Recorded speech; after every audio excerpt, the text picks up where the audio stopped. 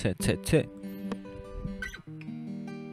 哎，大家好，我喜常安灯哦。这个非常的非常的尴尬哈，就是这个疫情来了之后，欠咖啡现在处于一个只能外带的情境。于是呢，我常录音的地方就就没办法录音了。所以呢，嗯，接下来可能会找一些其他地方录音哦。然后想说去林家肉造饭录音，哎，林家肉造饭直接这个哦，暂时暂时停业哦。所以现在我们也期待林家肉造饭的这个重新的开业。那未来未来我们这几个这个疫情期间，哦，会把转型为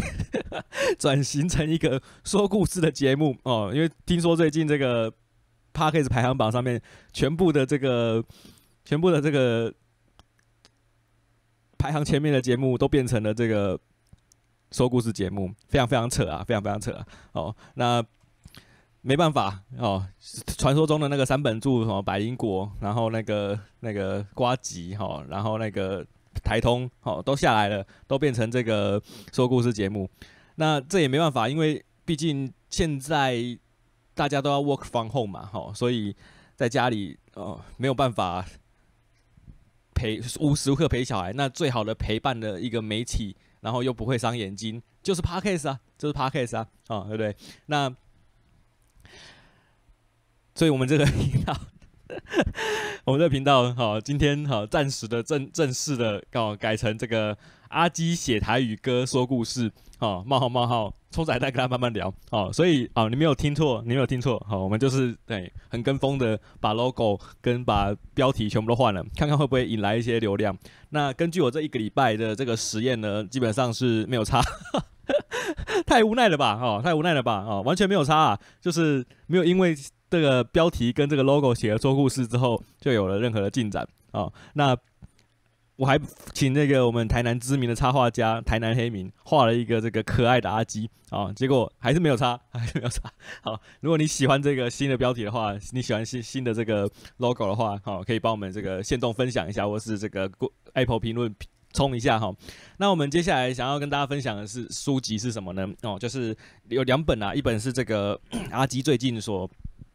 所写推荐的这个《造阿给》是由陈正雄老师所写的书，好，那这一本书是纯台语文撰写，所以它比较比较这个轻台语一点，好，轻台语一点。另外一本也是跟台语有关系的，诶，奇怪，怎么我现在现在怎样都 都变成台语教台语教学节目了哦。那第第二本书是这个《台燕五五走跳江湖》，哦，《台燕五五走跳江湖》。那这本书是我们一个这个台南的一个市府顾问，好，市市府顾问叫周博，周博。他是这个在新营的在地人，他非常非常夸张哈，非常非常夸张，就是他念了三个硕士，然后开了一间补习班，还在这个一个立法委员底下当助理，所以呢，非常非常的优秀啊。那他出这本书呢，基本上我在猜啦，我在猜，可能是想要为了过未来的这个更大的这个这个这个个人品牌的经营哈，所来做这个。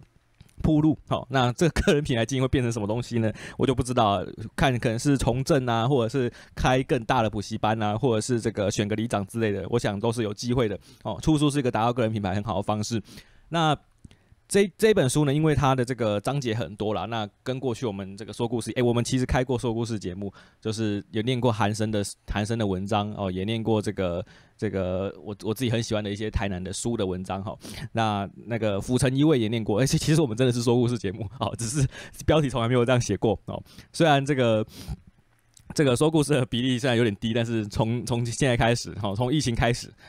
我们现在说故事的比例会大幅大幅的升高，大幅大幅的升高。好，那这本书啊，作者哈周周博啊，我跟他从来没有见过面，但是我是他网络上的一个粉丝。他自己有开一个 YouTube 频道，他曾经骑脚踏车就是吃那个台台南这个知名的肉燥饭店家，好，然后也跑来林家肉燥饭吃过这样子。好，那这本书他主要是把五十五个台语俗谚，好，五十五个台语俗谚变成他写书的一个 index，好，就是这个他的这个。写书，他写他自己的人生的这个故事，好，然后他推荐他自己所遇到很棒的人，但是呢，他不直接写，而他跳过一个，他透过一个这个这个台语的俗谚，好来做分享。所以你听了台语俗谚，知道台语俗谚的用法之后，你也不小心啊，不小心理解了他的故事，这样子哈。那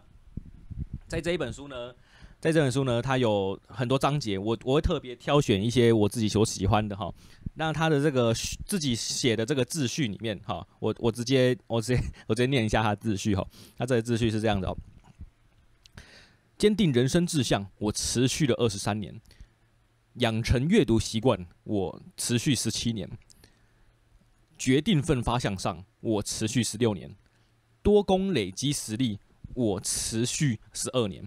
卓越文教事业，我持续七年；每周运动三次。我持续两年，人生第一本书，我持续一年，只认一位老板，我永无止境，追求更好人生，我永无止境。哦，这是他是，你可以从这听听下来就知道，他是一个非常非常持续、非常非常耐久的一个人。就是他呃，就是很。你你会觉得说他很不像是现在我们所认识的年轻人哦，他很很像是以前我们对农夫的印象，就是他会不断的做同一件事情，然后不断的坚持。那这样子的人的好处是什么？就是你什么时候认识他都是可以的，你什么时候认识他都不会觉得他是一个不一样的人。好，你什么时候认识他，他都是永远都是最最早你认识的那一个。好，那我们想要今天跟大家分享的一个一个俗谚是来自他这个这本书的第二十四页哦，也就是第一个 第一个俗谚哦。这没办法啊，写写书的第一章总是大家第一一定会看的嘛。那我们可以合理的预期这一章的品质应该是还算是不赖的。好。这句俗谚，好是怕等秋骨等得用啊，等得用哈，怕等秋骨等得用哦，大家应该可以听得出来，我泰语其实没有很好啊。哦，字义啊，打断手臂反倒强壮；示意不畏艰难挫败，有志者事竟成。哦，这是他的俗谚。那接下来他就会讲他人生故事了。在大学的演讲上，我经常问台下的学生。如果你领二十四 K 撑过四五年，就能改成领六位数，你要不要？在场的每个学生都回答要，但能做到的却少之又少。也经常有人问我，为什么你会想要念三个硕士呢？为什么你想要看这么多书呢？为什么你想要过得这么充实呢？为什么你要这么强的？为什么你有这么强的动力呢？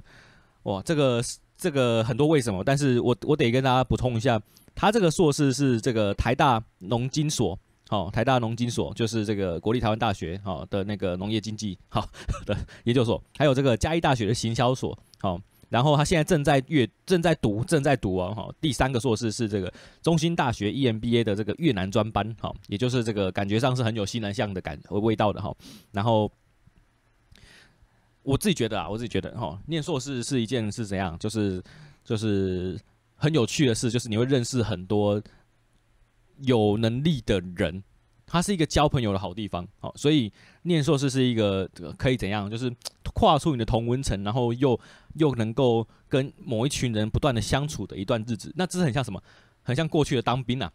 就是当兵的时候，你就会被分发到各个营区嘛，然后就会跟这个各式各样的人，然后相处过一阵子。好，但是念硕士跟当兵最大具体的差异是什么？哦，就是念硕士做的事情。跟未来就业比较相关哦，所以大家可能在未来这个这个毕业之后，还有可能会变成一个一起合作的、一起合作的一个状态，所以它会变成你人生的人脉这样。但是当兵呢，哦，基本上除非你继续在营区工作哦，你除非你直接入伍啊，要不然。应该不太有可能再有人生的交集，因为你们可能就原本原本可能是做餐饮的，就跑去做餐饮的，然后原本是补教业，就跑去做补教业，就人生可能就没有任何的这个交集，而且是那个这个怎样老死不相往来，好老死不相往来，冲，而且都把对方当做笑话，哦，都把对方当做笑话。但是念硕士的时候，你你获得这一群朋友，应该算是一个一个。在在你人生成熟的时候所交的朋友，所以它是一个很好拓展人脉的地方哦。所以我我个人觉得啦，哦，如果念三个做事，如果念的都是跟自己产业有相关的，应该算是一个那个 CP 值投资还不错的一个一个管道。好，那这一个收博他他。在他念台大的时候，他有得到一个人推荐，就是这个徐崇仁啊，这个全联的这个这个超商教父哈，徐崇仁哈，所以光是这件事情啊，就已经是很多很多方法都找不到，很多方法都没有办法办到，就是你刚好念这个硕士，你刚好成为他的学生，这样子才有机会。好好，我们继续念下去。好，说真的，我不是一直这么矜持，我曾是师长口中的问题学生，经常带头作乱，每天中午被叫去静坐，家人天天到。班导师的今天接到班导师的电话，我曾以为拳头大才不会被欺负。我曾以为，你哇你搞我给笑，我的给你处理了去。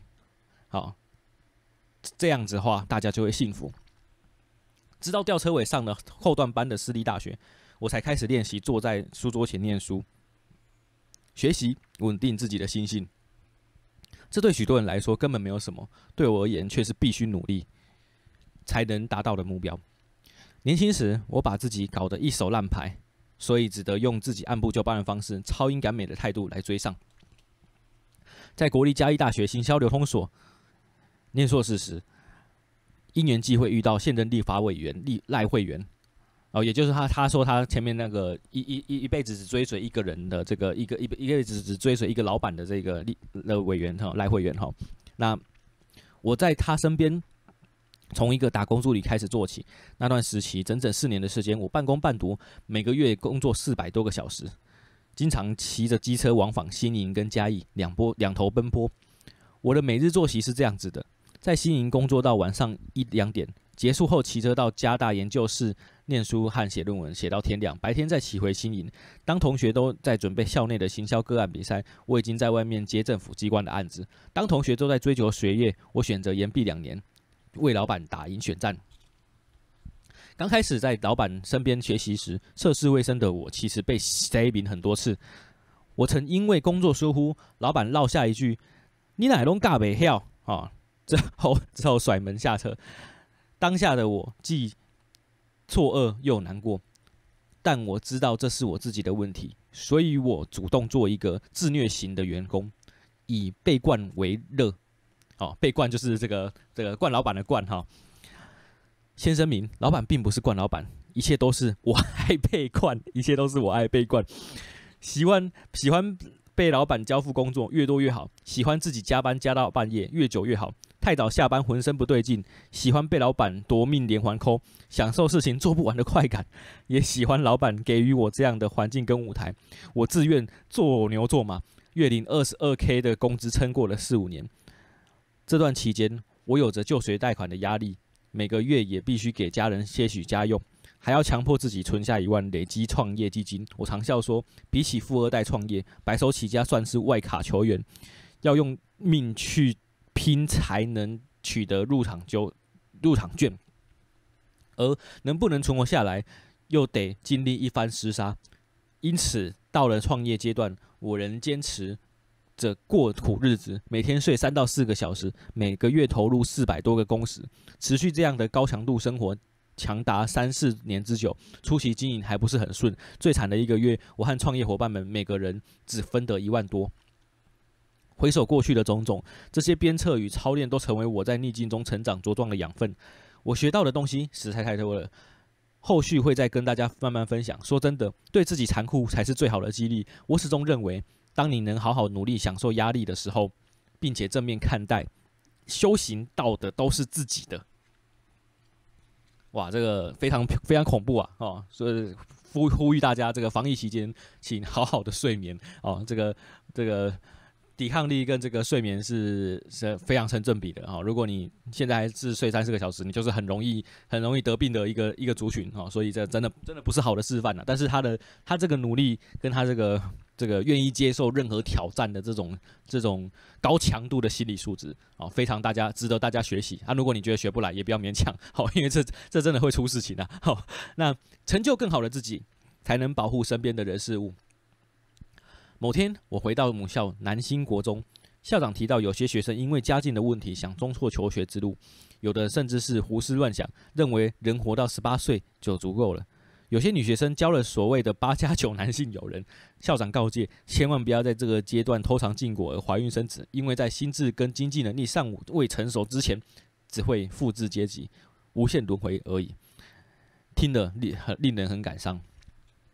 先天的命运确实难以反转，然而性格是可以慢慢修炼跟改变的。多年来，我所亲自的接触到的几几万名的创业者、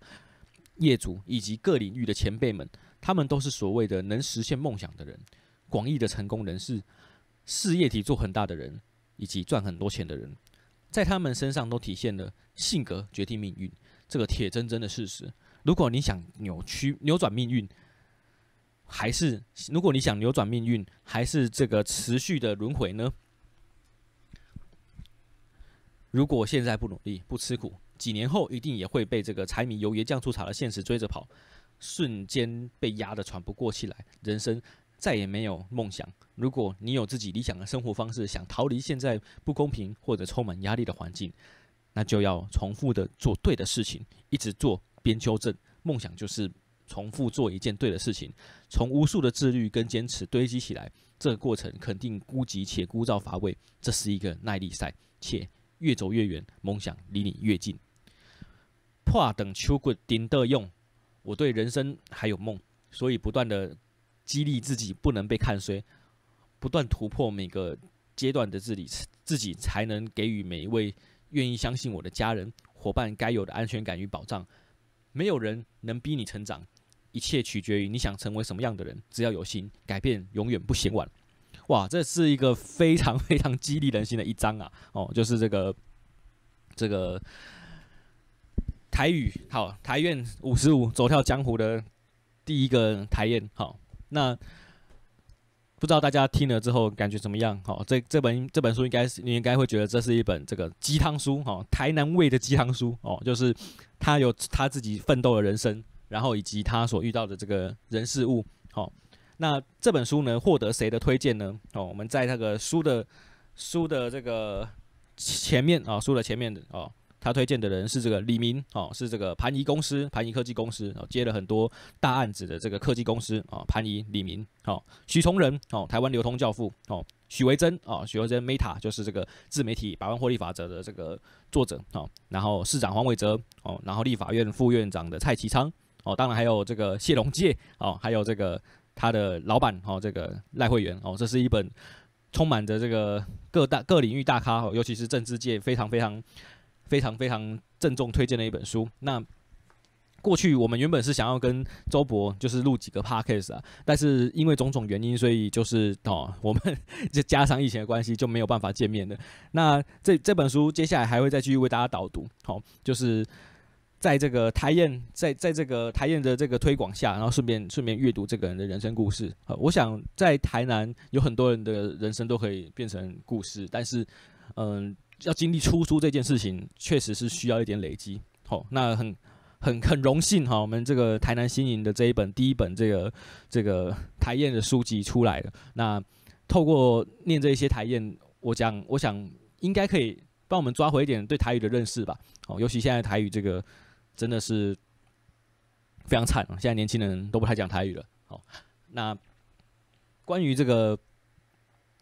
怕怕怕等秋果等的用，哈，我也想要来分享一个我自己的故事，我自己的故事哈，就是你大家也知道，冲仔在跟他慢慢聊这个 podcast，好，就是这个有心有有有一点心，但是没有很认真在经营，好，没有很认真在经营，好，但是。我们这经营的时间也默默的突破了两年啊，两年的经营，哇，天哪！一个 p a r k a s 做两年，到底到底赚到什么？哦，其实没赚到什么，就是赚到各位现在正在听的这个这个这个粉丝，好，以及大家的留言，以及大家的肯定，哦，所以这件事情，他说，你说真的非常非常的辛苦吗？他没有很辛苦，但是。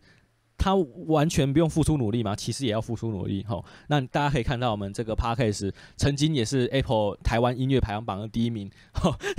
在在在大家都还没有要做 podcast 的时候，他是第一名是蛮正常的啦。哦，因为根本就没有对手嘛。哦，那后来现在现在这个不知道转到这个故事界，哈，说故事界会不会有有更更好的成绩？那。在做极致的努力这件事情哦，怕怕等秋果等得用哈，就就等得用哈。这个这个谚语就是在就是当当你遇到极大的挫折啊，当你遇到让你这个手直接断掉这个挫折，你还能够成长哦，就是面临困境的时候，你来你还能你你才能够有成长的机会哦。这个在这个在我们这个 p a r k a s 的的的的这个制作的时候也可以看得出来啊。基本上就是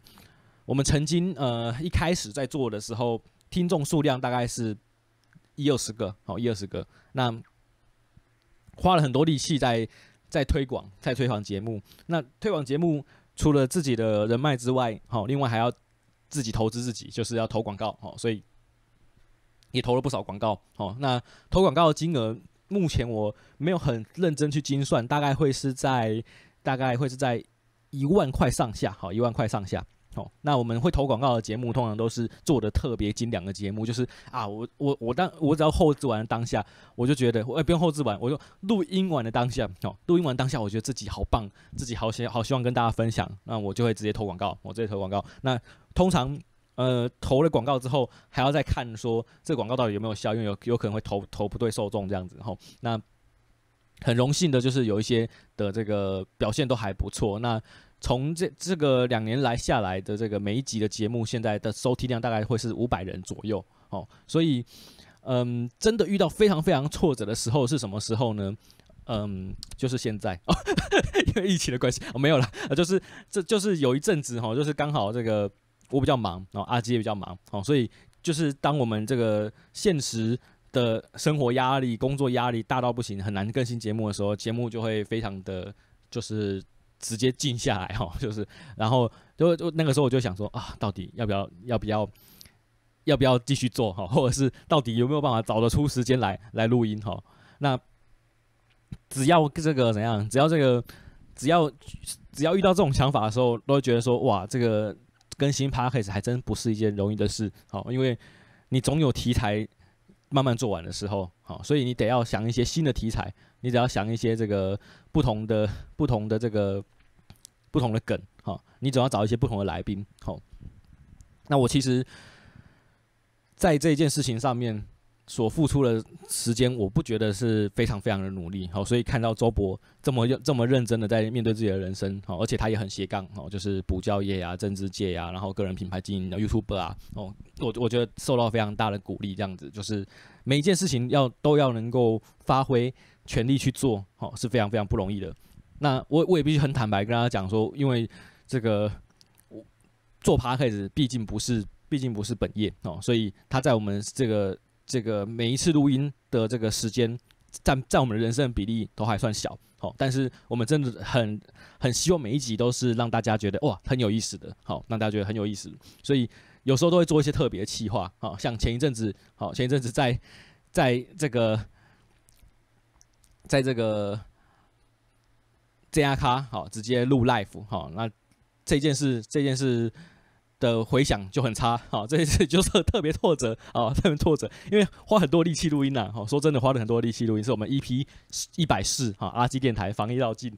哇，我们从台南到 JR 卡这样子，然后直播直播的效果啊，然后后面再上传效果都不如我们之前这在家宅录的这个，然后在千咖啡宅录的这个。